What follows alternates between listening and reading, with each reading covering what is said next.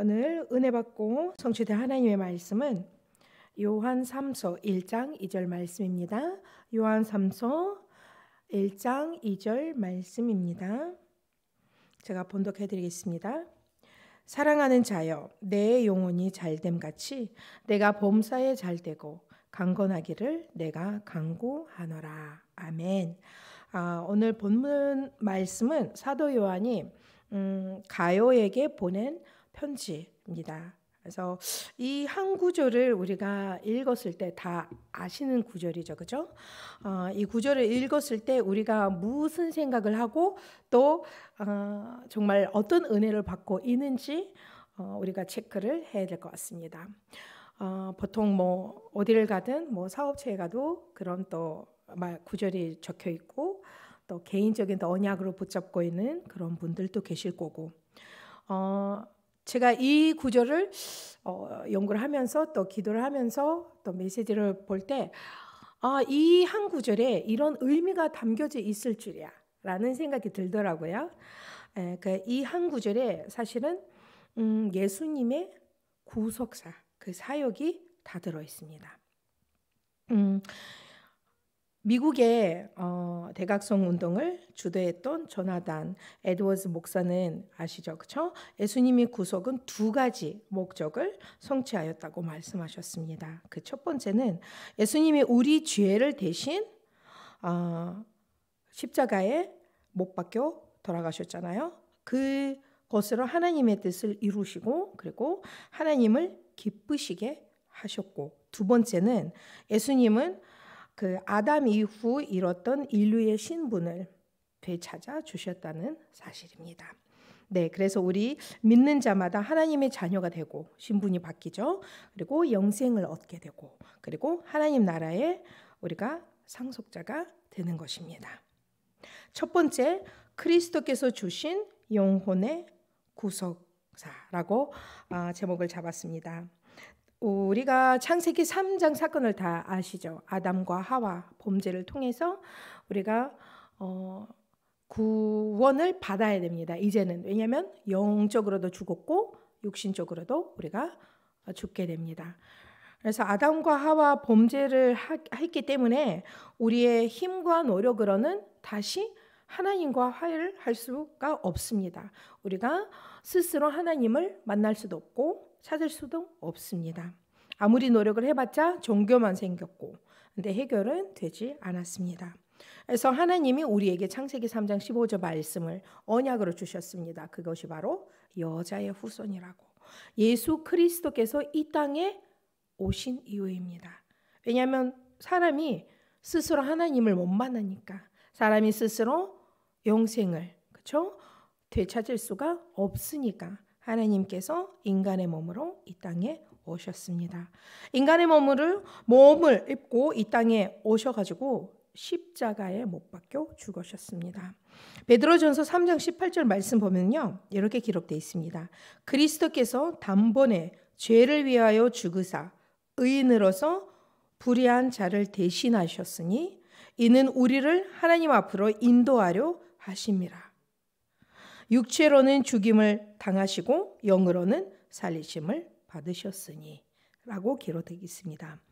예수님께서 우리를 위하여 의인이 그렇죠? 죄인을 위하여 십자가를 지셨습니다. 그리고 피를 흘리셨습니다. 왜냐하면 죄인이 죄인을 구원할 수가 없기 때문에 하나님께서 직접 이 땅에 인간의 몸으로 오셨습니다. 그래야 우리가 구원을 받을 수가 있습니다. 네, 예수님이 십자가에서 못 박혀 죽으시고 피를 흘리시고 그것이 우리에게는 은혜가 됐습니다. 그 은혜로 말미암아 우리가 구원을 받게 됩니다. 아, 죄를 우리가 죄를 지었잖아요. 그렇죠? 근데 불구하고 그리고 하나님을 절대로 만날 수 없는 존재가 되었음에도 불구하고 하나님께서 우리를 위해서 자기 사랑을 확증해 주셨습니다. 우리를 위해서 이 땅에 거룩하신 전능하신 하나님께서 오셨습니다. 음, 두 번째는 우리가 십자가에 죽으신 그리스도께서 어, 범사의 구속 사역을 하셨습니다. 우리가 음, 오늘 성경 구절 읽었듯이 우리가 영적으로 우리가 어, 강건해야 되고 그리고 범사에 그렇죠? 강건해야 된다고 기록되어 있습니다. 사실은 우리가 하나님을 떠난 이후에 제일 큰 문제는 원죄 문제죠. 그렇죠? 그 원죄 문제 때문에 인간이 여러 가지 문제를 당하게 되는데 그 중에 제일 무서운 문제가 영적인 문제예요. 개인 영적 문제가 있고 가정의 영적 문제가 있고 가문의 영적 문제가 있습니다. 이거는 사실은 신자만 않는 것이 아닙니다. 불신자들도 물론 영적 문제라고 하지는 않지만 근데 가문의 문제가 있다고 직접 말을 해요. 그래서 결혼을 애들 결혼을 시킬 때 그 가문을 봐요. 그렇죠? 그냥 시집을 보내지 않고 그냥 장가를 보내지 않아요. 가문을 봐요. 어떤 병이 있는지, 어떤 뭐 문제가 있는지 확인을 해요. 그렇죠? 오늘도 그래요. 뭐 때문에? 후대를, 후손을 생각하니까. 그것이 바로 영적인 문제예요. 개인 영적 문제가 있고 가정의 영적 문제가 있고 가문의 영적 문제가 있습니다. 어, 제가 요즘 계속 생각하는 그 영적 문제 계속 들었는데 물론 알고 있겠지만 또 복음 전할 때 또 얘기를 하겠지만 근데 제가 티시게이들을 키우는 입장이라 또 영적인 부모로서 어, 요즘 애들이 좀 여러 가지 속색이는 그런 일들이 있는데 나이들이 그렇고 이해는 가요. 솔직히 저도 그런 나이가 있었고 여러 가지 문제가 있었고 어, 근데 이제 어른으로서 또 목회자로서 얘네들을 바라볼 때 답답해요. 그렇죠? 부모의 입장에서 볼 때도 답답하고 그래서 어떻게 해야 될지 참 말로서는 해결이 안 되는 그런 문제들이 있고 아무리 얼레고 달래고 해도 아무리 어, 바른 말을 해도 말씀을 줘도 메시지를 같이 메시지 들어도 이게 말을 듣지를 않아요. 구원받은 하나님의 자녀지만 그래도 이게 음, 잘 안 먹히더라고. 그래서 이게 화를 물론 안에는 화가 가득 찼어요, 솔직히. 어, 머리는 터지죠. 근데 화를 내뱉으면 어떻게 될까라는 생각도 해보기도 하고, 어, 근데 부모들도 이미 감당이 안 되는 거고, 그래서 기도를 하면서 어, 정말 눈물을 흘리면서 하나님 앞에 기도를 하다가 하나님이 영적 문제라는 것을 저한테 이렇게 기도 속에 말씀하시는 거예요. 아, 그때서 제가 답을 찾은 거예요. 그 영적 문제 속에서. 모든 사람은, 모든 인간은 하나님의 자녀, 그렇죠? 대어동 예수 그리스도 영접을 해도 언젠가는 영적 개인 영적, 가정 영적 그리고 가문 영적 문제랑 부딪히게 돼 있어요. 그렇죠? 언젠가는 이게 나타나게 돼 있어요. 그런 입장에서 생각했을 때는 차라리 빨리 나타나고 빨리 깨닫고 빨리 해결하는 것이 오히려 좋겠다라는 생각이 들더라고요. 그래서 아, 불평, 화 대신 감사. 감사하면서 기도하기로 제가 결정을 했습니다. 아, 기도를 해야겠다. 말씀 붙잡고 기도를 그리고 강단을 통해서 계속 말씀을 주면 된다. 그거는 마, 맞습니다. 모든 인간은 똑같아요. 빨리 드러나야 나도 알고. 그래야 앞으로 부딪혀야 이게 영적 문제가 나타나야 이제 알기 때문에 당하지를 않아요. 물론 내가 또 말씀 속에 있지 않고 계속 육신적으로 살면 영적인 것 영적인 것을 놓치고 하면 당할 수밖에 없고. 그렇죠? 우리가 이 세상에 살기 때문에 그래 이 세상에는 사단이 역사하기 때문에 당하든지 아니면 이기든지 둘 중에 하나예요. 근데 이기게 되면 영적 문제 드러나도 그래 올 것이 왔다. 그냥 미소로 웃음으로 그거를 마주칠 수 있습니다. 근데 모를 때는 당할 수밖에 없습니다. 근데 예수님께서는 이미 그 영적 문제를 십자가에 죽으심으로 부활하심으로 이미 다 해결해 주셨습니다. 아멘입니까? 해결해 주셨습니다. 예수 그리스도 안에서 우리가 해방을 받은 존재입니다. 이 땅에 살면서 그리스도로 우리가 그 영적 문제를 이길 수밖에 없습니다. 네. 그래서 우리가 해방 받은 존재예요. 다만 누리지 않을 때, 그것을 놓쳤을 때, 언약을 놓쳤을 때 당할 수밖에 또 없습니다. 육신을 가졌기 때문입니다. 그래서 예수님이 범사라는 그쵸? 이게 범사도 가시와 엉겅퀴가 계속 나타납니다. 그게 우리 범사에 축복 대신 저주가 가득합니다. 근데 그런 범사도 예수님께서 십자가의 죽으심으로 다 해결해 주셨습니다. 네. 그래서 우리가 범사에도 우리가 항상 뭘, 뭘 해야 돼요? 감사해야 돼요. 네. 범사에 우리가 그리스도를 누려야 돼요. 범사에 나는 영적인 존재임을 알고 그 영적인 해방을 누려야 돼요. 어떻게? 말씀 속에서, 기도 속에서. 다른 방법이 없어요. 다른 방법은 절대가 없습니다. 그래서 우리가 이 땅에 사는 동안에는 정말 어, 그리스도를 누리면서 또 다른 사람들에게 그리스도를 전해야 됩니다. 우리가 힘들 때, 어려울 때, 진짜 범사에 우리가 아무것도 안 될 때 그리스도께서 우리에게 하시는 말씀이 있습니다. 어떤 말씀일까요? 수고하고 무거운 짐진 자들아 다 내게로 오라. 예수님께서 그 말씀을 우리에게 주십니다. 다 내게로 와라. 예수님이 혼자 있지 말고 고생하지 말고 고민하지 말고 그 수고하고 무거운 모든 짐을 다 가지고 내게로 와라. 라고 말씀하십니다. 정말 우리가 은혜로 어, 구원을 받았기 때문에 은혜 가운데 우리가 있지 않으면 힘들어져요. 네, 우리가 우리의 범사가 힘들어져요.